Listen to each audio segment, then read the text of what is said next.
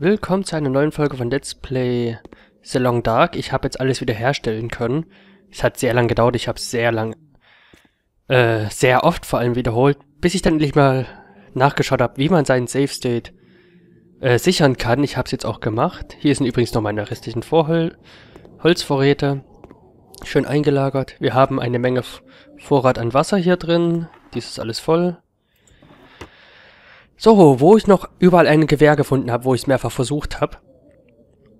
Bevor ich dann angefangen habe zu sichern, zwischendrin bin ich noch, weiß gar nicht, an der einen Stelle zehnmal, glaube ich, gestorben. Und da muss ich immer zwei Stunden, weil ich dazwischen nicht gesichert habe, verloren. Oh, ich bin so ausgerastet teilweise. Egal, jedenfalls habe ich es geschafft und jetzt machen wir es neu. So, hier gibt es anscheinend noch eine Möglichkeit, Wasser zu bekommen. Das ist neu, das gab es, glaube ich, früher nicht. Ähm, ein Gewehr findet ihr, wenn ihr den... Oh, wir sind dehydriert. Wenn ihr den Flusslauf, den eingefrorenen, weiter hochlauft, und zwar bis zum Ende, findet ihr erstmal ganz links ein Haus. Und ihr könnt noch Glück haben, weil am Ende des ähm, Flusses könnte ein Toter liegen, da müsst ihr einfach mal schauen. Und der hatte tatsächlich eine Waffe bei mir. Ansonsten habe ich in einem Haus schon mal eine Waffe gefunden, aber danach wurde ich getötet. Äh, ja, und ich hatte wieder nicht gesichert. So, das ist voll mit Werkzeugen. Das Ding ist voll mit Material und Werkzeugen. Das war voll mit Essen, aber jetzt und Medikamenten. Jetzt dürfte schon sehr viel abgelaufen sein. Wenn wir es nach Condition machen, dürfte ich auch noch Fleisch, Wollfleisch. Ja, okay, das kann man ja, oh, es ist schon auf 34% runtergefallen. Ich musste halt mehrere Tage überbrücken. Das nehme Boah, das war teilweise bei 90%. Ich habe das mit diesem tollen Hungertrick gemacht. Okay, der Rest ist jetzt wieder gut. 15 Kilo haben wir noch drin. Rein, reines Essen vor allem. Oh, tatsächlich habe ich noch 96%. Einiges Zeug scheint sich wirklich zu halten. Ach nee, ich würde es gern mal nach, ob da noch irgendwelches Fleisch drin ist, weil das Fleisch hält sich einfach weniger als der Rest. Hm. Nee, gut. Finde ich gut. So, was wollte ich machen? Ich würde gerne mal, bevor wir loslaufen, noch etwas probieren.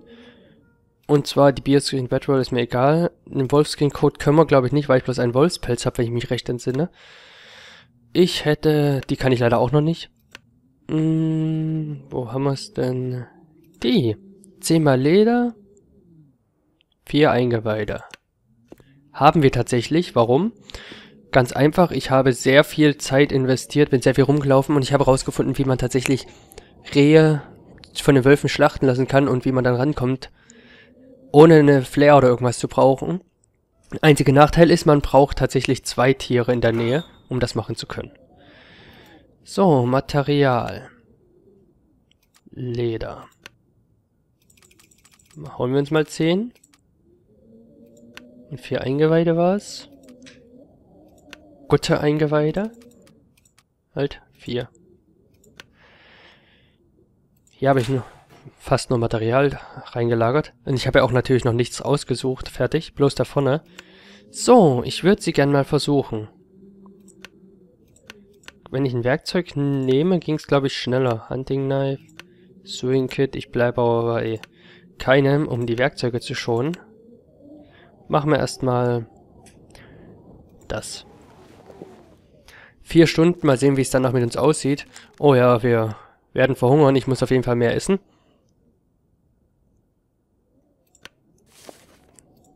Damit habe ich aber schon gerechnet. Wir machen es nach Condition. Wir haben ja jetzt genug zu essen. Also muss ich das Zeug eh ein bisschen vert vertun, weil das hält sich einfach nicht mehr. Ist vielleicht doch ganz gut, dass ich es aufgespart habe. Einiges von dem Zeug wäre mir sogar schon fast abgelaufen. Glaubt man kaum. So. Mach mal fünf Stunden. Mal sehen, ob die so viel besser sind als meine Insulated Boots. Eigentlich kann ich es ja einsehen, aber Oh, es ist mitten in der Nacht und ich arbeite hier. Wie macht denn der das? Ich, ach ja, er. Ich habe tatsächlich entschieden, ich werde wieder einen Mann spielen. Weil ehrlich gesagt, ich bin es leid, als Frau rumzulaufen. Das mag ich einfach nicht. Außerdem das nächste Gebiet, deshalb als Mann. Wenn ihr auch wissen wollt, wie ihr euren Safe State äh, sichern wollt, müsst ihr einfach mal schauen, ähm, wie man in dem Spiel cheatet. Ich habe es jetzt nicht gemacht. Ich habe das alles von Hand gesammelt tatsächlich, was wir hier haben. Oh, jetzt haben wir die ganze Nacht durchgearbeitet. Zwischendrin muss ich auf jeden Fall schlafen. Ah, machen wir gleich nochmal. Wenn die Kalorien auf Null fallen, kann mir doch relativ egal sein. Oh, wir sind dehydriert, das kann mir... Und müde. Und die... Ah, jetzt sind wir auch überladen. Wir essen das. Wir essen die Dose auch leer. Und dann schlafen wir erstmal ein bisschen. Dehydriert sind wir eh schon. Das wird uns noch mehr dehydrieren hier, die, fettigen, äh, die salzigen Bohnen und Schweinefleisch. So, dann müssen wir erstmal unser Wasservorrat wieder anzapfen. Ich habe nämlich mit einmal, tatsächlich, ich habe sehr viel Holz gesammelt, seht ihr ja. Und das Zeug hat ja einfach keinen Platz mehr gehabt. Das sind drei oder vier von den Dingern. Ähm, wie viel waren es? Ich glaube 30 Liter Wasser mit einem, mit einem Mal gemacht. Und ich muss sagen, es war gut. Leer, leer, leer. Achso, das habe ich alles leer gemacht in der Zeit. In der es gedauert hat, bis wir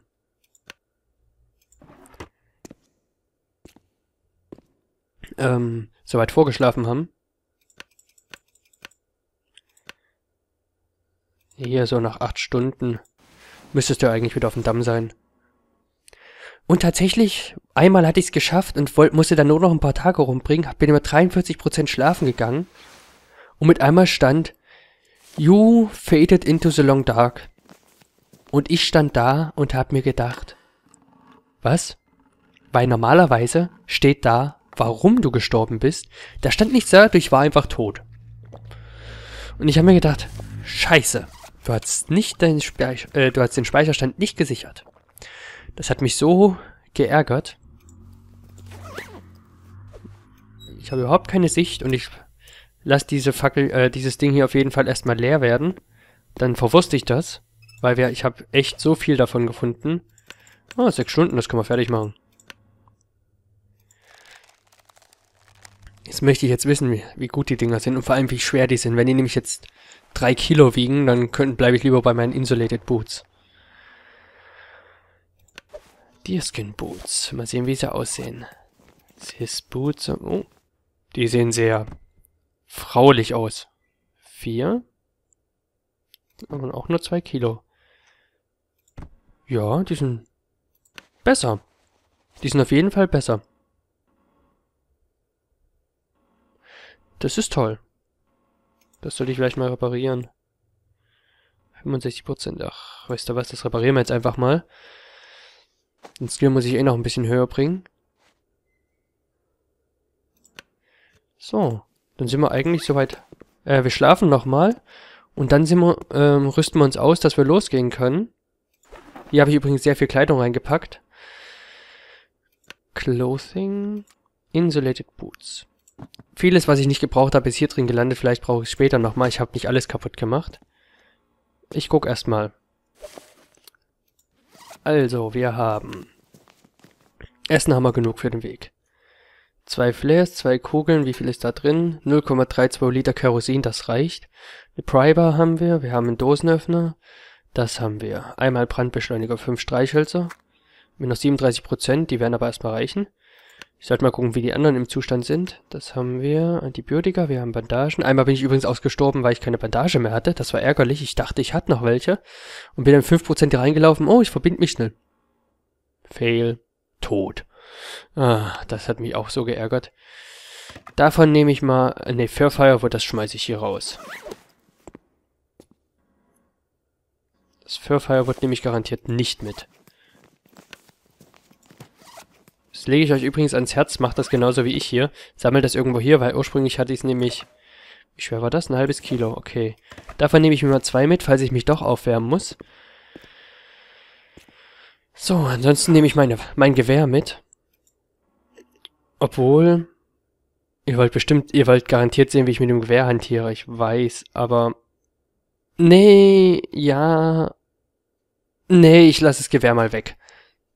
Ich habe ja meine Flares. Ich weiß nicht, ich mag irgendwie keine Tiere erschießen.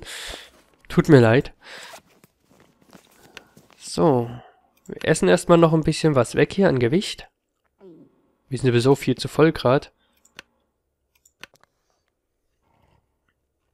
Ich muss gestehen, ich habe auch ein bisschen Angst, dass ich, wenn ich dann wiederkomme, hier alles vergammelt ist. Ich weiß nämlich nicht, wie lange das Zeug so hält. Und ich weiß auch überhaupt nicht, was mich in dem neuen Gebiet erwartet. Sollte jetzt aber was schiefgehen, kann ich den Spielstand ganz schnell wiederherstellen. Das ist sehr gut. Werde ich nach jeder Aufnahme sichern. Ich habe nicht keinen Bock, dass sowas nochmal passiert, wo ich dann ewig... Also eine Stunde nachstellen, klar, das ist okay. Aber alles andere, nein. Nein, danke.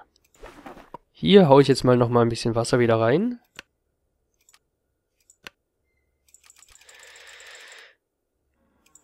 Hm, ich nehme mal zwei Liter mit, ich weiß nämlich nicht, was mich erwartet. Eine Waffe werde ich erstmal nicht brauchen, ich habe zwei Flares. So, wir sind hier recht gut ausgestattet. Material, haben wir ein bisschen Kleidung, Leder brauchen wir jetzt nicht unbedingt. Tinderplug kann ich ein bisschen was wegschmeißen eigentlich. Okay, wir müssen eigentlich alles haben. Tinderplug hat sich übrigens in der Zeit hier gesammelt.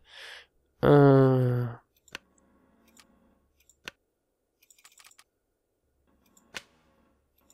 Wo haben wir es denn? 110 sind schon 5 Kilo Tinderplugs.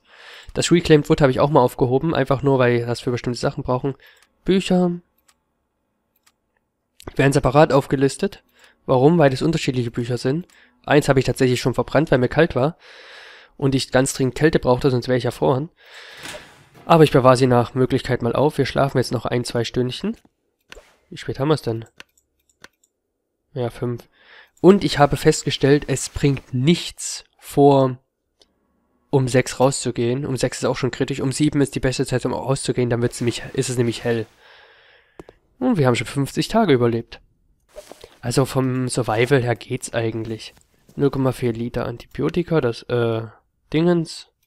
Ich esse mal lieber die Sachen, die schwer sind. Normalerweise bin ich immer auf Raubzug gegangen mit so 13 Kilo. Wir haben's ja, also esse ich mich jetzt auch dementsprechend satt erstmal. Und esse auch unser Inventar ein bisschen leerer, damit wir leichter sind. Es wird nämlich noch ein bisschen Weg, bis wir da sind. Und dann müssen wir auch noch heil ankommen, das ist auch wichtig. Nimm das Ding mal weg. Die Stormlantern ist auch sehr nützlich. Geht übrigens, wenn ihr in ein Haus geht, immer nur mit Stormlantern rein und leuchtet auch. Ich habe nicht festgestellt, man übersieht sehr gern einige Stellen. Ich habe zum Beispiel in einer Ecke ohne Vorwarnung Scrap Metal auf dem Boden gefunden.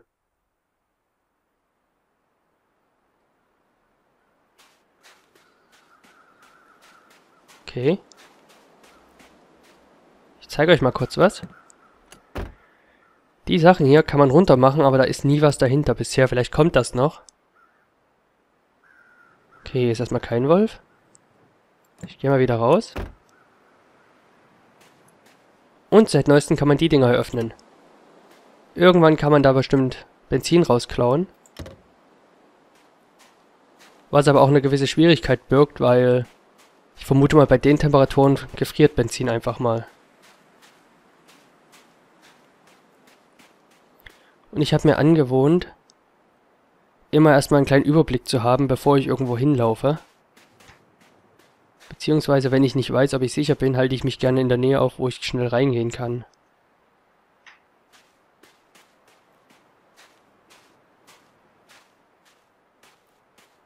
Wenn das nicht geht und ihr habt ein Reh in der Nähe, schicke ich tatsächlich ein Reh vor. hat, mir so, hat mir schon geholfen. Weil die gehen dann immer erst, da hinten ist er. Die gehen dann immer erst auf das Reh los.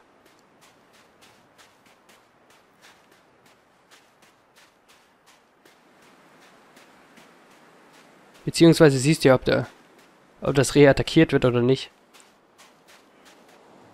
Hier hatte ich übrigens auch schon sehr viel Glück. Bin vor einem Wolf davongelaufen. Der hat mich dann knapp bevor ich weg war erwischt. Und gleich danach kam der nächste Wolf auch. Hat mich dann wieder mein Leben gekostet. Oh, das ist so zum Kotzen, wenn ihr zwei Wölfe habt. Oder was auch sehr gern passiert, wenn du gerade ein Tier auf offener Eisfläche, Fläche. Da vorne kannst du übrigens Glück haben.